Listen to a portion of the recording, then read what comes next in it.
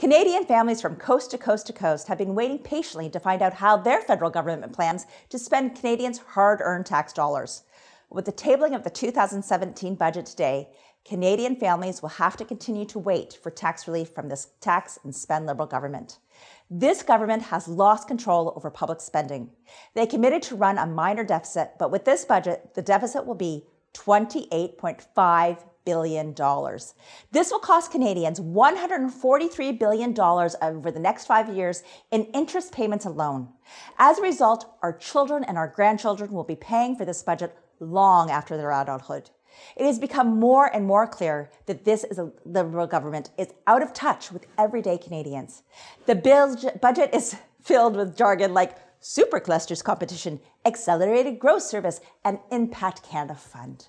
But what does this mean to ordinary Canadians looking for tax relief and financial assistance now? Absolutely nothing. This Liberal government is indeed out of touch with ordinary Canadians. It looks like Canadians will have to wait another year for relief from this government. Sorry, kids.